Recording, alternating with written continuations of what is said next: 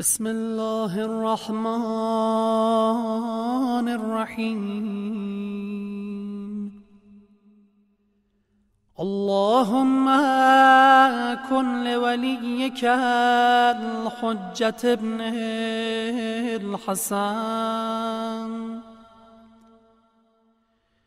صلواتك عليه وعلى آبائه في هذه الساعة وفي كل ساعة.